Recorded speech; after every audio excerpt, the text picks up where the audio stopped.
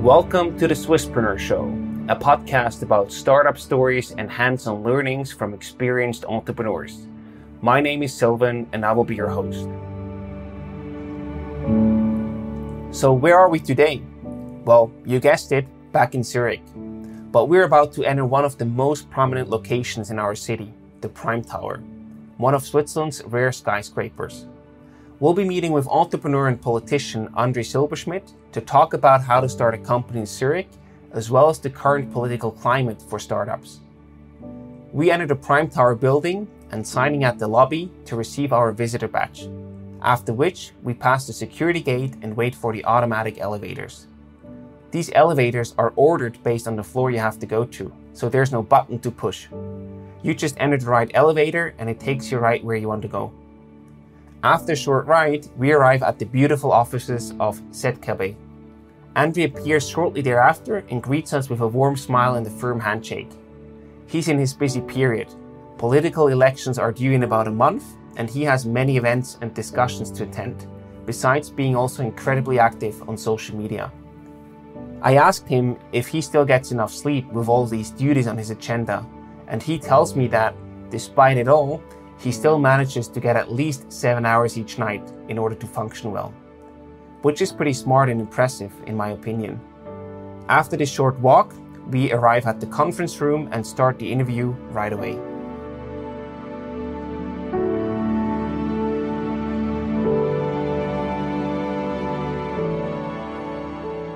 Before we get started with the episode, I would like to introduce you to SBB Startup. If you think that your company is a good fit for the Swiss Railways, get in touch with them or learn more about their startup programs at sbbstartup.com. Andri, a very well welcome to the Swisspreneur Show. It's great to have you here today for this Q&A session. And we're going to start with the first topic focus of starting a company in Zurich, just as you did with your company, with Kaisin. And the first question comes from Cedric Walburg. There are a few of him. And he says, where do I find some good template docs to set up my company in Zurich?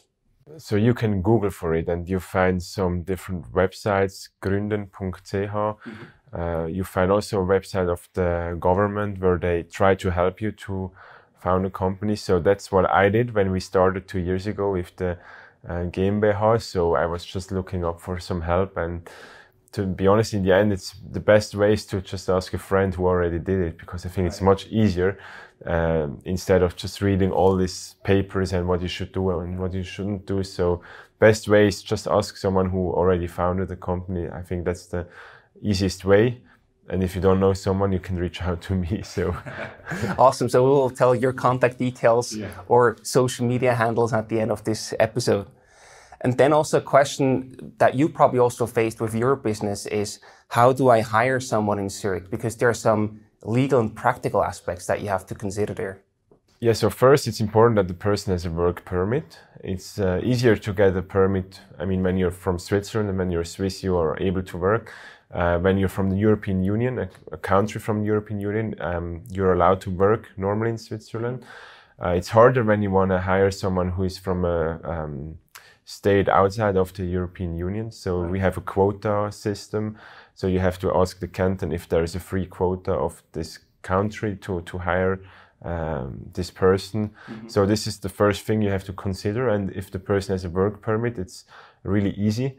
Um, you just have to do it according to the law. And I think Switzerland has a, has a great law when it comes to hiring and also firing. It's not like in the US, uh, you have more job security than in the US, but mm-hmm. still there is a lot of flexibility compared to uh, France or Germany. Absolutely.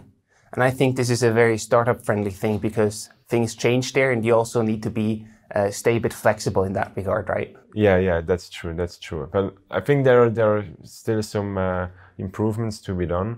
Mm-hmm. So um, you, you always have to report like how much you work and when you go to work. So there are some restrictions, right. but the restrictions are not when you want to hire someone. You're quite free. Mm-hmm. Um, yeah, you also have to consider the salary you pay. Uh, in some um, branches, like in in uh, restaurants where I'm um, with my startup, you have some minimum salaries. So this is something you have to consider as well. Right. Good point to mention. How do people find out whether there are like minimum salaries that they have to pay. Do they also find that on the web, or where did you inform yourself about that topic? I suggest to join an association. Um, so the association for the restaurants is Gastro Suisse. So they, they help you with everything. So they have all the know-how. So you don't have, I think, yeah, it's, you will never know everything. Mm-hmm. So better go to an association that, that um, takes care of your sector and they can help you. That makes a lot of sense. Good recommendation. And then, what's from your perspective the most successful startup that has ever been started in Zurich? Uh, I don't know if you if you can say that objectively. There is um, the top 100 startup event of Venture Lab, and last year Ava was um, regarded as one of the most successful startup in out of Zurich. Mm-hmm. Uh, we have another one that is uh, the Get Your Guide. Right, that is, the uh, unicorn. The unicorn now. So uh, I think there are good examples of out of Zurich where startups were founded and, and now um, expanding to, to all over the world. So, um, but it's hard to say it objectively. What, what is uh, really successful and what not? Is it just the valuation or is it uh, like the technology behind or, yeah? Many different aspects or perspectives, but it's great to see that there are at least some role models to motivate more people. Yeah, and it's really important to see that because Switzerland is a really small market. So at some point when you start a business, you have to go uh, like to, to European countries or to the US. And I think it's it's harder to innovate out of a smaller country than from from a big country like the US where the market is, is much bigger. So it's it's good to see that it's still possible. And I think yeah we have we have not a bad framework here in Switzerland to, to start a business, but we need to improve when it comes to to grow the business, um, to have more role models uh, like Ava or Get Your Guide. That's a very good spirit. What are some mistakes that I should avoid when I start a company in Zurich? Probably you can also share some of your experience if there have been any. What we did right probably is that we didn't start with a business case and with a lot of money. Mm-hmm. So um, we start with effectuation. So we just like tried out things. We had a pop up, but we had no money at all. So we had to grow with the revenue of our clients. So I think a big mistake could be if you think you have the greatest idea ever mm-hmm. and, and, and like hire some people and get a lot of money. And then you realize after some months that it was not the greatest idea ever. So probably I would say just start slow, but grow fast. So when you start, try to really understand what your product is and what your USP is. And mm-hmm. if you think you, you know it, and you have kind of the proof of concept, then you, you really need to uh, be fast. But I would say in the first weeks or months, just be a bit cautious and and not spend all the the money you, you already have or or, or uh, hire so many people and then you have so many obligations. So and when it comes to obligations, I also recommend to just um, have like short-term contracts, not just mm-hmm. with the people you hire, but also uh, when it comes to rent or with the insurance that's something also we did wrong. We just like signed all the insurance documents and then we realized we had like three or five years contract. Um, the conditions are really bad when you're a startup because you're not profitable for, for the counterparty. So, um, and when you grow and grow and have more revenue, so you get better conditions. So it's better to have like short-term contracts um, to renew it after a year or two. So this is something we learned. I think that's also a very good tip. Are there any recommendations how you can actually execute that? Because as you said, insurance companies, for example, but usually also office leases um, for B2B uh, businesses, they are always more uh, long-term oriented than short-term. So how can you get that contract negotiated to a short-term agreement? I think it depends on the business climate. So at the moment we have many free spaces when it comes to office space. So the people they are just looking for you and, and they they are happy if, if you cover their cost. So um, I think it's easier to to have a rent, a short term rent now than like 15 years ago. Mm-hmm. And when it comes to insurance, they have the standard contracts and they uh, last longer because it's obviously better for them. But um, I think you just have to talk to them and and yeah, or have a friend who's working in this industry and and also asking asking them yeah. And then one important aspect also of starting a company and probably also hiring the right people is the living cost of a city that you're operating in. So what are the living costs in Zurich from your perspective that are like realistic assumptions for entrepreneurs? So I, I was checking that question of um, on on the website of ETH. So they were calculating those figures, and they said it's roughly around 2,000, 2,500 francs for um, living, food, TV, and, and stuff like this. So mm-hmm. I think living cost is is is not low, but um, you find also around Zurich, not not in within Zurich, but you find cheaper places to live and so it's it's doable. It's not like I would say when you go to New York or so. It's you get not much life quality for a high price, and yeah. in Switzerland the prices are, are not low, but the life quality is like awesome. So I think there are many reasons to pay those prices because you get something back. Mm-hmm. So as I said, like two to two point five thousand a month. Um, but most of the time when you start working for for also for startups you earn at least 4000 i would say 4.5 so it's it's manageable it's uh, you i mean you don't get rich when you earn just 4 4000 but you can start something and and right. then hopefully grow and and yeah earn more i think this is a, a, very important message you know that you know switzerland is expensive but has a good quality mm-hmm. but at the same time it's also affordable so you don't need to earn 10k a month um, to be able to survive yes, here in Zurich. Yes, absolutely.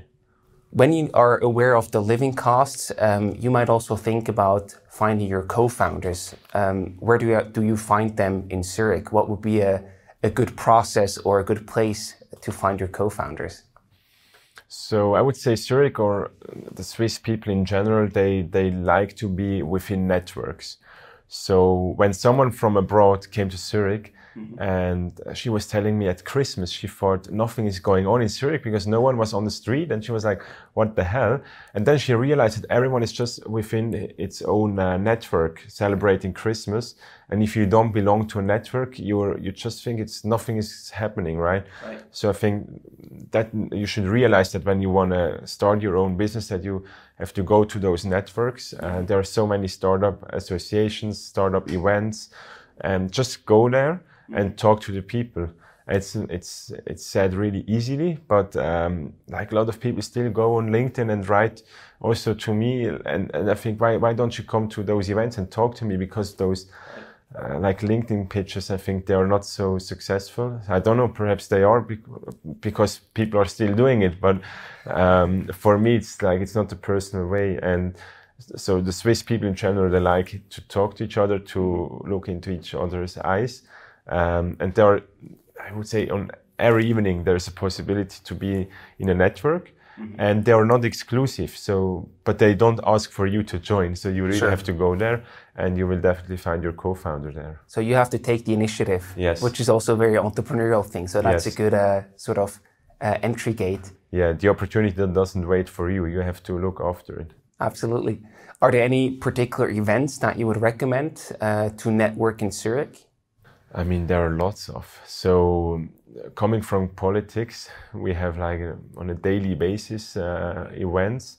And what I, I, think are the most um, inspiring events, or the, the events where you meet the uh, most inspiring people, are those which have not a, like a real cause to really meet someone. Like, mm-hmm. so sometimes you meet the most interesting people where you don't expect it to meet them. So, I recommend to go to events where you're really interested in and mm-hmm. where you think it's that that's an area where you want to know more and not not like hey here is a startup event and you can find your co-founder here.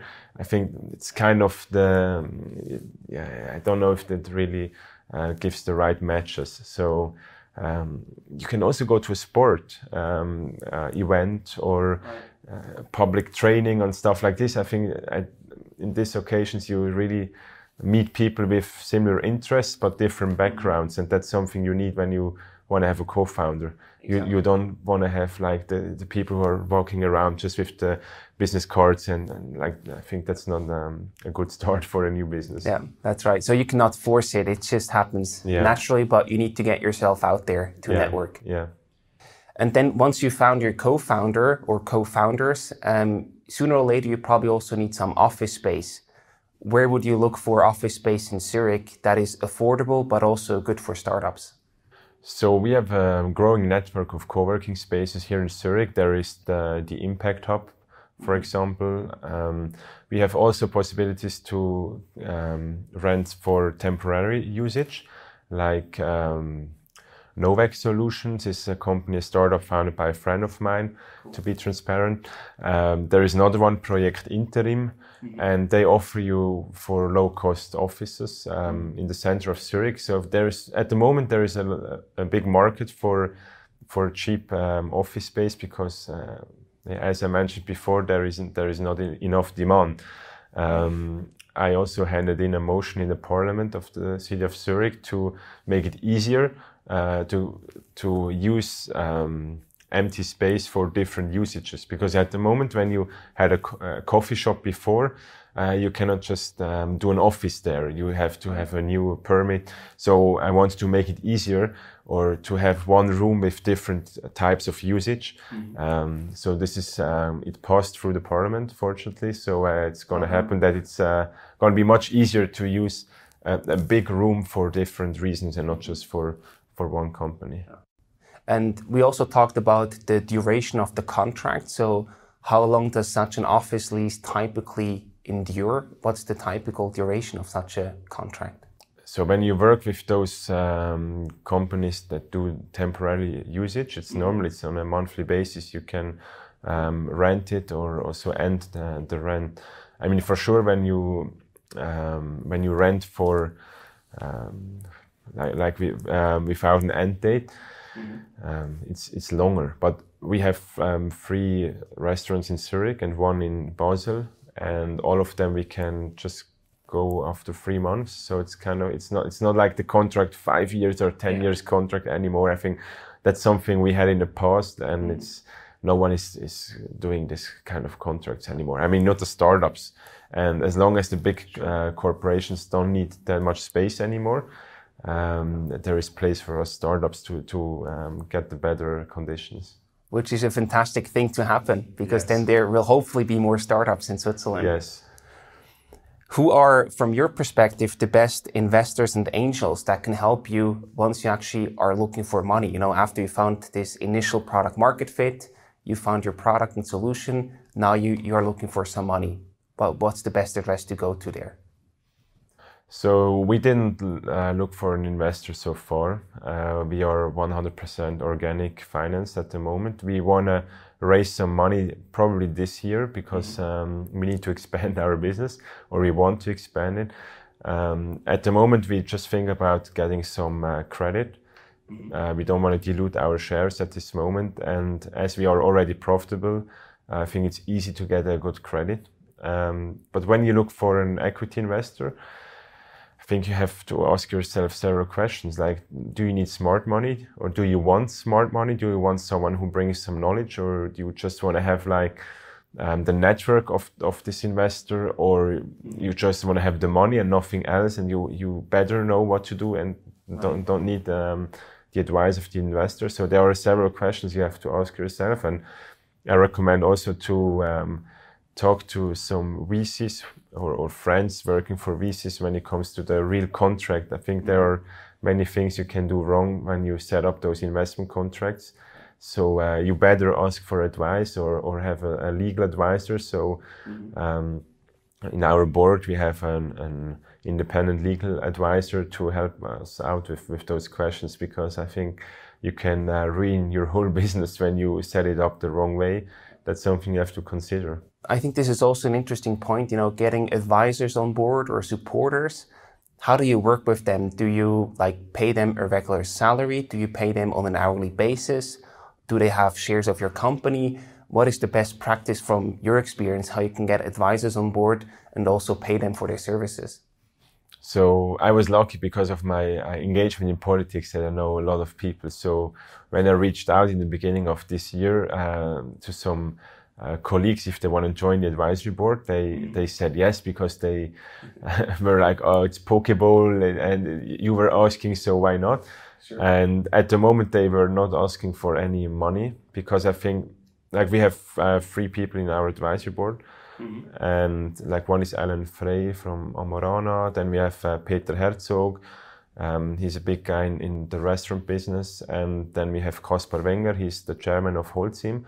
So we were looking for different types, like Alan with the startup background, mm-hmm. Peter with the restaurant background, and Kaspar with the business background. And I mean, two out of three of them are for sure over 40. So I realized that they just want to give back to the young generation. So mm-hmm. this is kind of the salary they get is that they can be really close to a startup, close to young people who want to change something in their sector they are interacting in. Mm-hmm. So I think this, yeah, you just have to reach out to the, those people because some of them they don't have to work like 50 hours on a weekly basis anymore, so they have more free time, but they still want to do something um, usable. Uh, and so that that's why I, I, I, think most of them they don't ask for money. They just they want to see you perform. They want to see you running. So. Yeah um, if you don't do that, I think they will ask for money because they think it's not worth it to give an advice if you don't execute, or if you don't. I mean, you don't have to just take the advice and execute it, but but sure. debate about it and then mm-hmm. um, have a result out of this debate. So I think as long as they see a process and mm-hmm. that we really care about what they are saying, um, they do it for free. Nice. Then the next question comes from, from Björn F. He asked, why should I actually start my startup company in Zurich? What do you think? Why is Zurich a good place to start? Because this network aspect that you just mentioned, that could be one of the many reasons why Zurich is a good place. Yeah, there are many good reasons. So the life quality is brilliant here. Um, you have a really good ecosystem also of big corporations. So there is a lot of money. You have the pension funds uh, sitting on like 800 billion francs just waiting to invest in startups.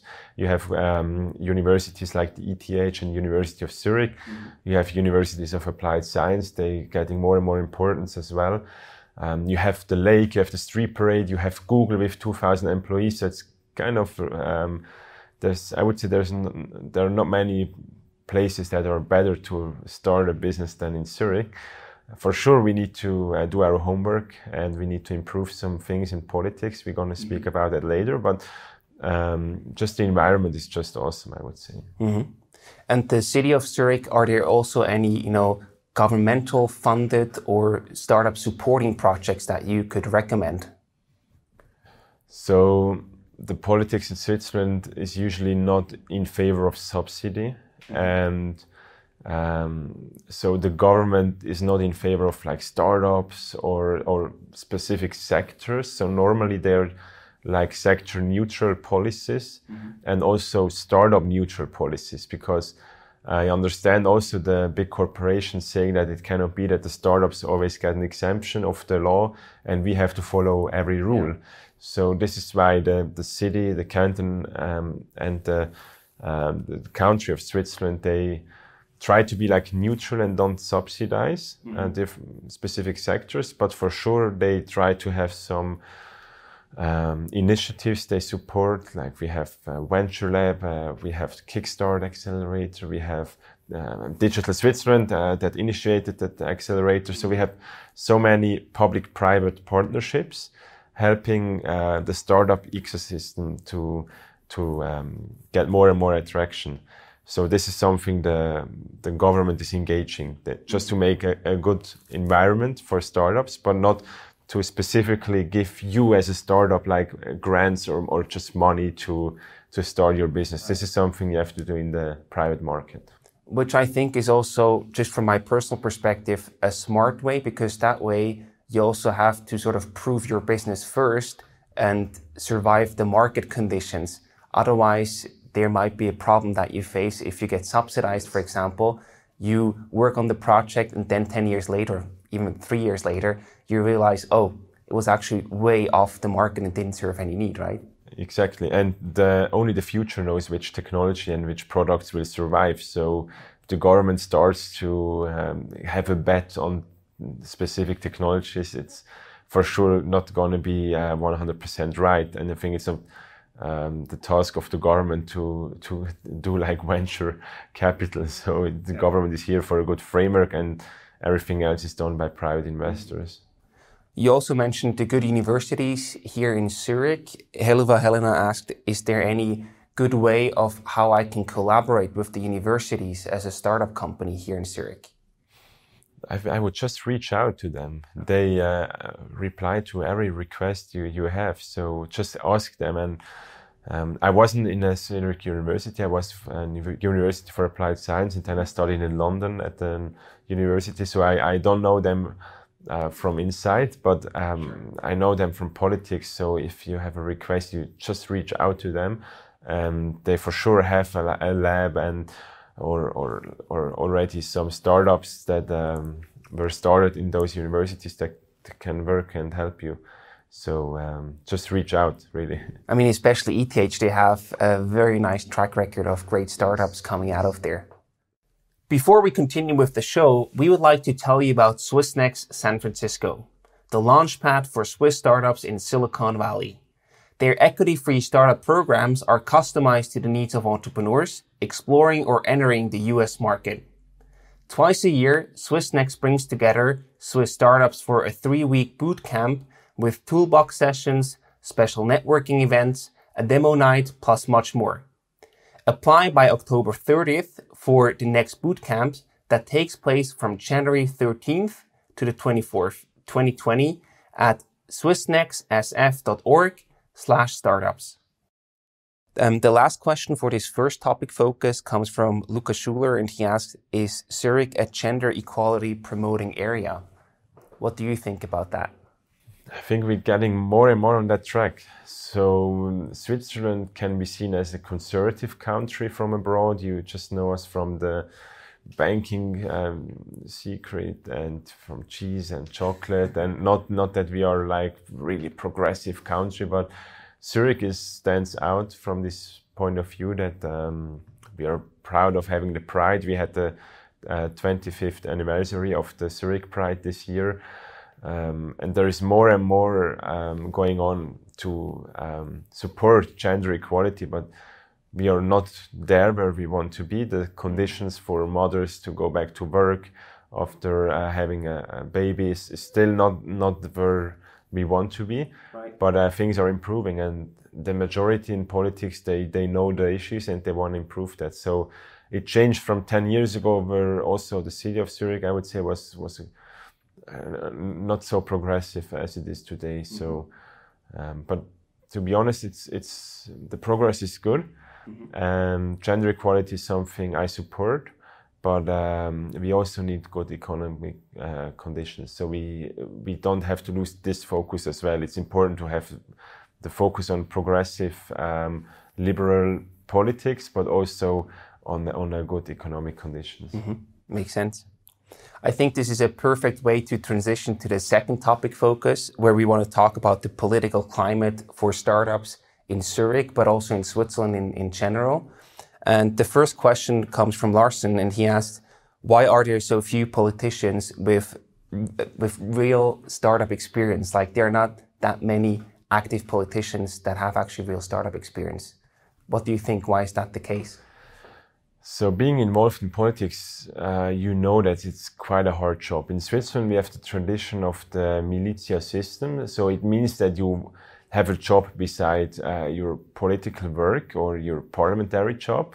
So normally it's it's when you start your own company you have to focus more than 100% just on on your own startup and it's really hard to have like um, a parliamentary mandate beside that so one case could be like Marcel Dobler, the founder of Digitec. He just did his entrepreneurial career, um, exited with Digitec, and then he started his political career. So this is something that is um, more common than what I do and like do everything just beside like the mm-hmm. politics and the startup.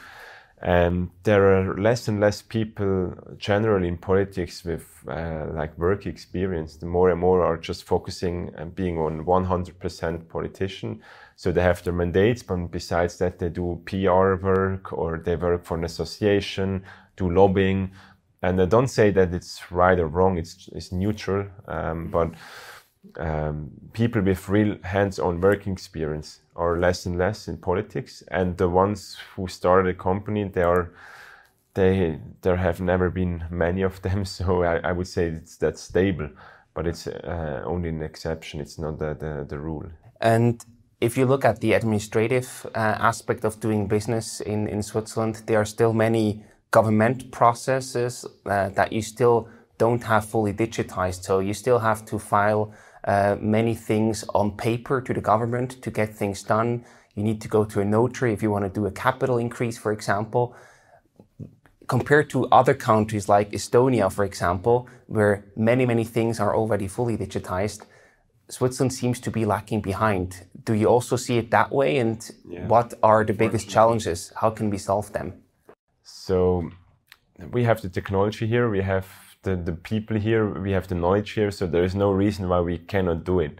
So my mission is to have a startup um, founded within one day and to to make that happen. And I think sometimes in Switzerland we are we, we always say, you know, it takes a bit longer in politics here in Switzerland and it will come uh, for sure soon. And I think we have to change this um, attitude.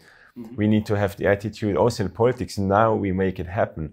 And there is um, no excuse why we cannot do this. I mean, in this case, there is really no excuse because we have the proof in other countries, we have the knowledge and the technology, and we have the money here. So why can't we do this within one day? And I think sometimes we really need to have this courage to say it and also take the risk and just do it and, and not talk about it like for years and years. Um, we fortunately have probably this or next month a new law for electronic ID. Mm-hmm. So everyone said in the government, we can only start when we have this new law.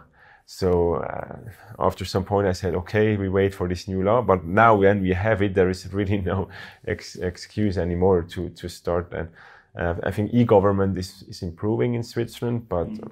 from zero. So I mean, it's it's easy to improve from this point. Uh, there's still um, a long way to go. What What do you think is the the biggest obstacle in that regard that startups face today, and what might be a good quick fix to to solve that? Maybe there are many. There, yeah, I think the problem is that you have so many um, different stakeholders involved in the process because we are such a, a federalistic country. So the the city is involved, the canton is involved, the the country is involved. Then you have associations. Um, being a, a, food entrepreneur, mm-hmm. uh, we need to uh, consider different laws on different levels and everyone has an, another system and i think this is something which makes it really complicated and there is no one who, who like looks in a holistic way to, to this uh, framework mm-hmm. and analyzes it and then makes a solution all, all, the stakeholders are just doing it for their own and the systems are not um, working together and so this is something we need to change we need to have this holistic view also in politics to uh, from different levels, from the city, from the canton, and the country, to make this digitization happen. I think that's a, a big problem that you just uh, called out, basically, that we face in Switzerland. From a political perspective, you are also uh, part of the team startup, as you, as you call it, to really support startups. So, what do you think on a political level? What can be done uh, to empower more startups in Switzerland? What would be like the specific steps or initiatives that should be launched and go through on a political level?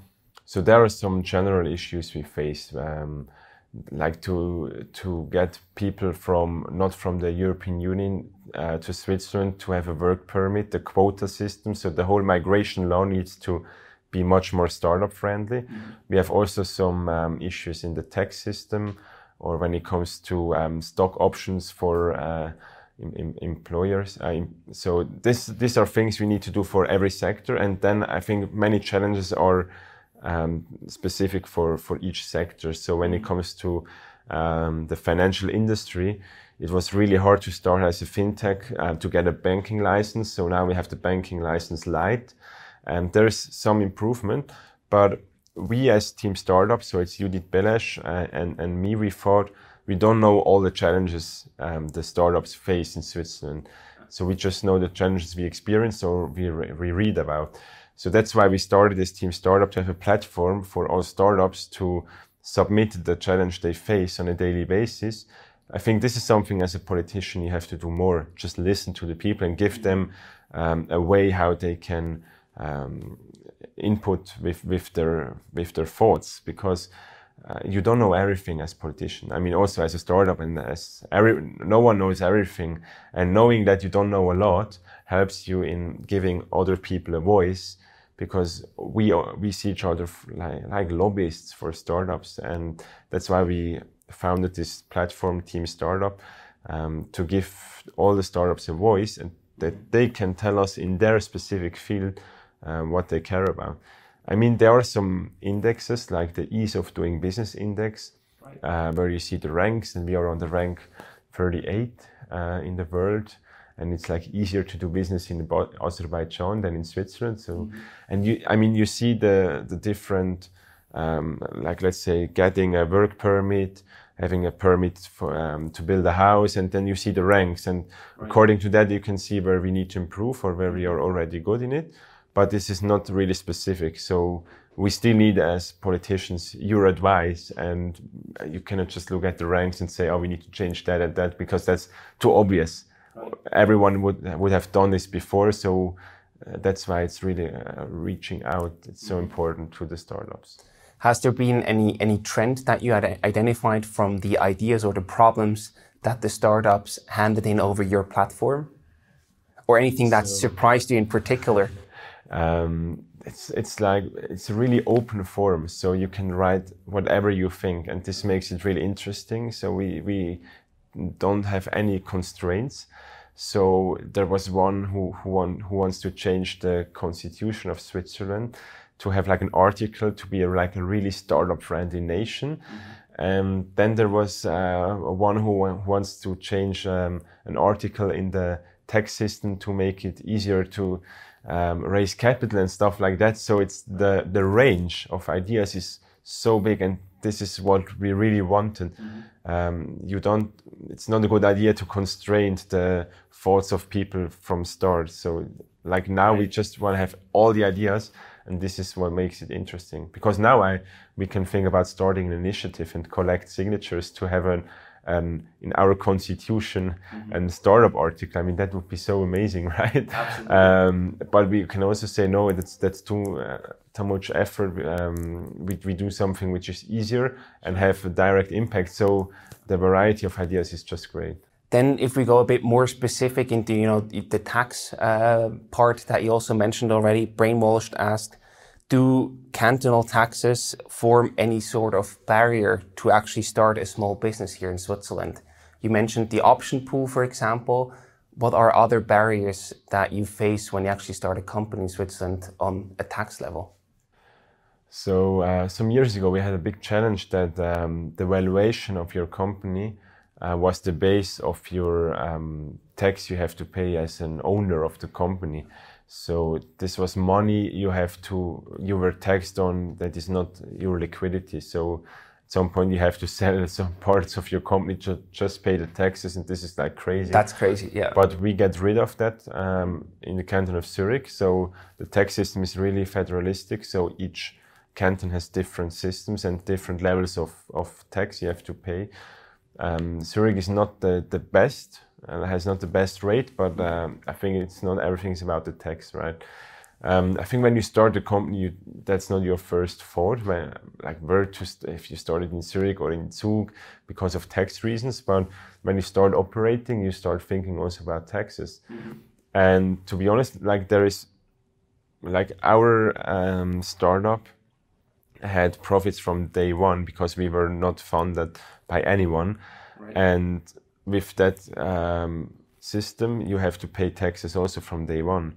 And this is money that goes away you need for new investments. And these new investments would lead to better uh, revenue, better salaries, and new hirings. So um, I thought about like having an exception for startups for like two or three years that you don't have to pay these taxes at like not today, but perhaps in three years. So mm-hmm. you can just hold it back and have this liquidity for for further improvements of your business. So this is our ideas. I I start thinking now when I see it in our own um, income statement that we always think about now how we can like optimize the the income statement that we don't have to give our liquidity away because we really need it for sure. the for the future. Uh, I think you know having both perspectives there, the political perspective, but also the startup perspective, is very helpful. But they're also challenging voices. And for example, Helluva Helena asked, ethically speaking, can politicians be involved in startups? So can it be a candidate and a business owner? I know this is very much linked to the Swiss system, and you probably have a clear take on this. yeah, but but it's a challenge, right? Because when I hand in some motions in the parliament, uh, which which are also in favor of startups, people say, "Oh, you just do it for yourself," and then I say, "No, I just I do it for the ecosystem, and I do it because I learned by myself uh, what it means to do a business and so I, I see it on a daily basis what we need to change. Mm-hmm. And I think that's a better way than just um, like listening or, or, reading about some issues and then trying to change it. But you, if you don't experience, you cannot understand it. Mm-hmm. So, and as long as you're transparent, I think it's okay. As long as the people know the, to which organizations and which companies I belong to, and I'm 100% transparent, people can also read the, the motions I hand in in a different way. So they know, oh, he experienced that in his startup. That's why he proposed it. So they can either say, so it's legitimate because he experienced it, or they can say he's just doing it in his favor.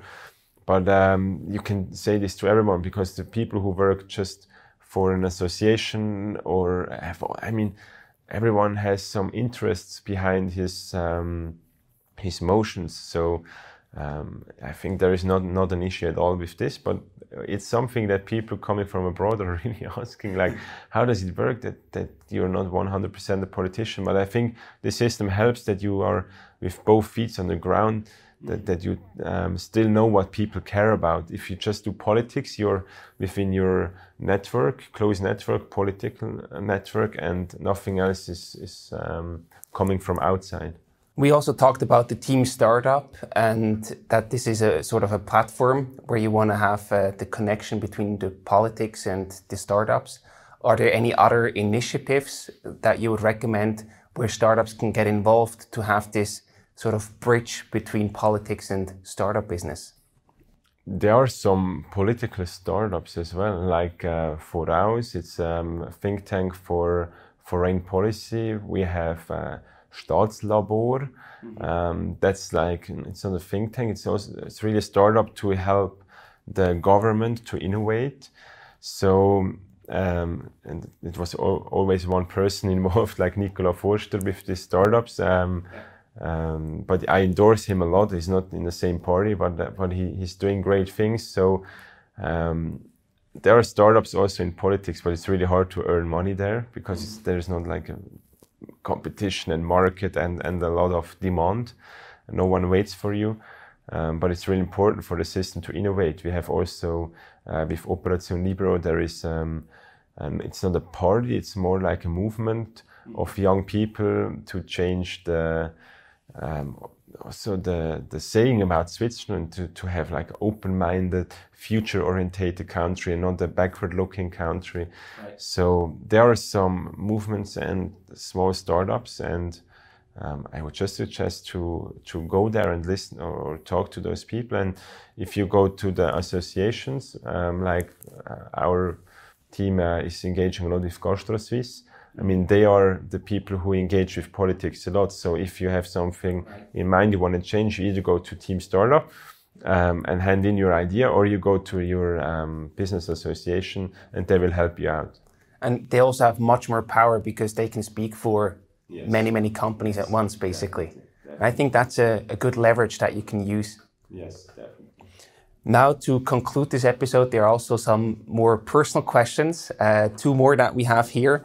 So there was just an interest from the audience, basically, what kind of challenges do you face being a young person getting into politics? And are there any parallels to your startup business life that you can see there? Um, good question. So I'm a party member of the Freedom Democratic Party. We are a center-right party. And uh, starting with 17, my political startup, it was uh, I founded a chapter, a local chapter of the youth party with 12 members, so really small. but this was kind of my first startup.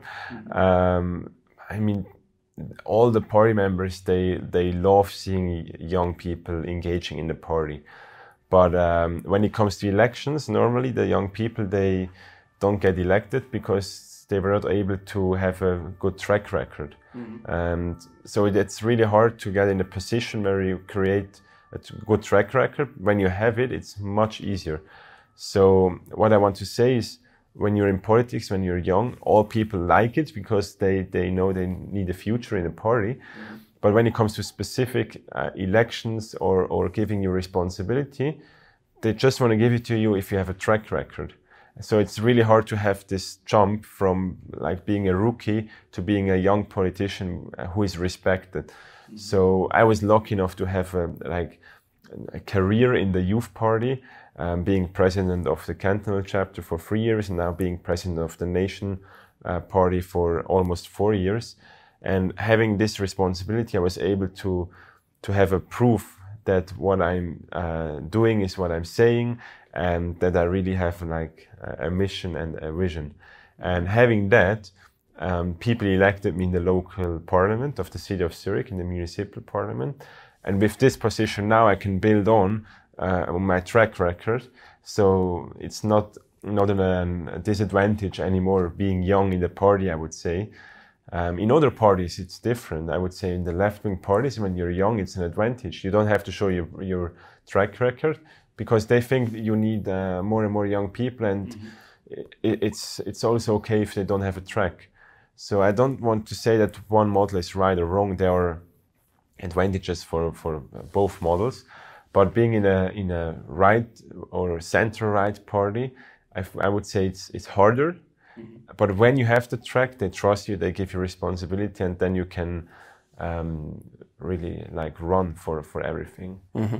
And do you think that this is similar for the startup business? For example, if you're looking for money, most investors prefer to have any track record or any you know senior experience before they actually want to give you money is this a similar situation there from your perspective, although you have not raised any money yourself yet?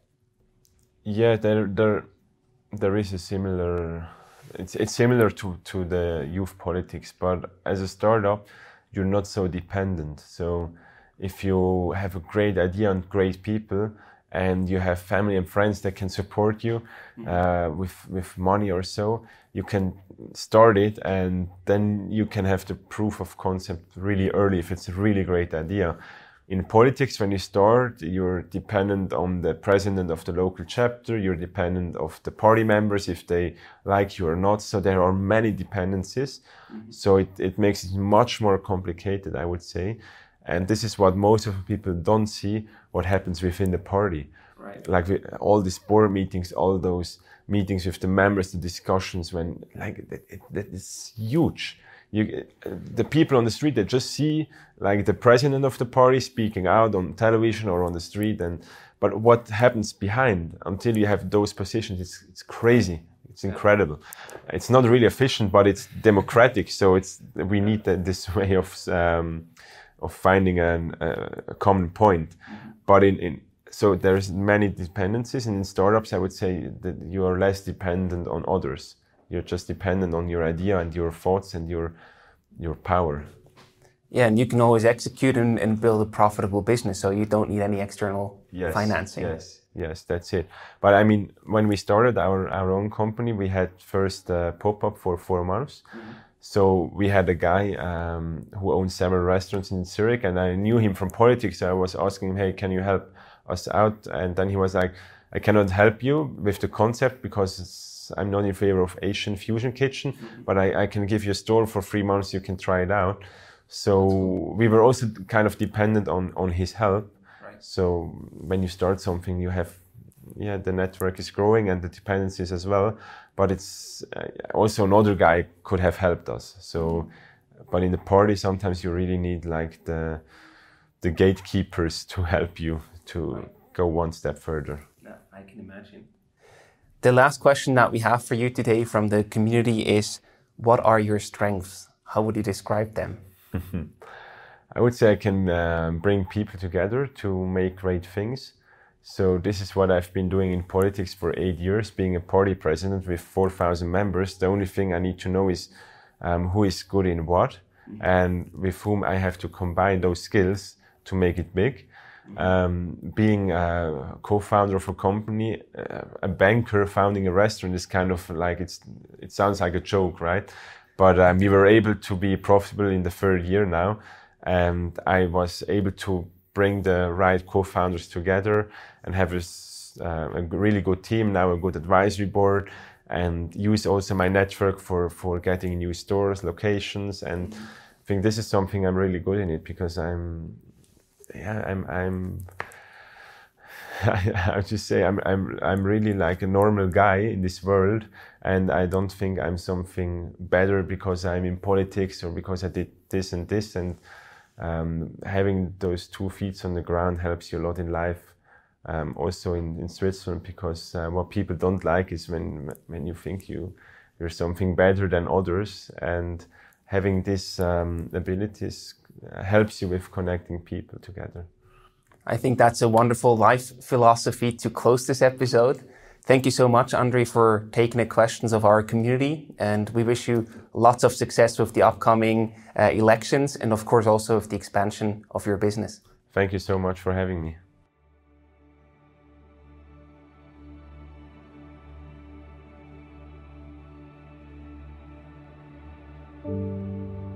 Next week, we will leave Zurich and travel to St. Gallen to meet with Andreas Fischler, the former CEO at Frontify. We'll be talking about how to get involved in a startup despite having a family and two kids, how to close your first big B2B clients, and why operating in Switzerland and especially in St. Gallen is an advantage for your company. Make sure to tune in again for an all new episode of the Swisspreneur Show next week and if you enjoyed today's content, we would highly appreciate it if you left a rating on Apple Podcasts within the next seven days. Thank you so much.